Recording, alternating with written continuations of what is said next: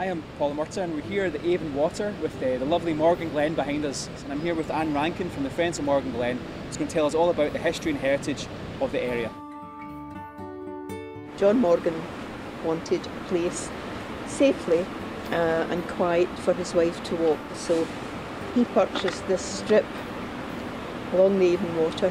This cairn with the plaque was to let people know who John Morgan was and how it came to be given to the people of Larkhall.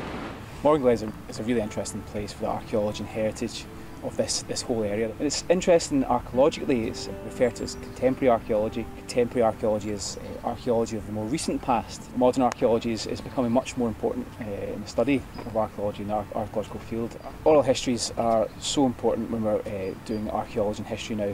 To talk to people uh, like Ann about their memories of the place and the experiences they used to have in these places is, is completely unique. It's just a woodland area um, these days, but this area used to be the dance floor and uh, it was a rectangular shape.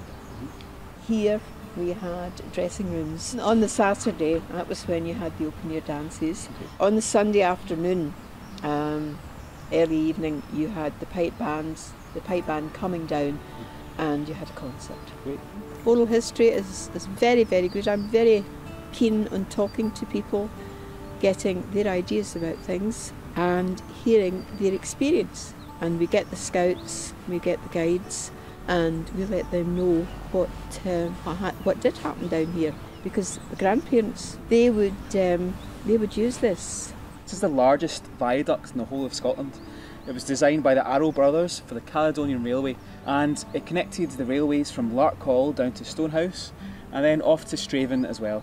One of the rites of passage was uh, to walk across the, the shut viaduct and spray paint your name on top of it. It's obviously incredibly dangerous. A lot of people were, were killed, I think, doing it, and so it was it was eventually closed off. I'm bringing somebody down, and she hasn't been down here for years.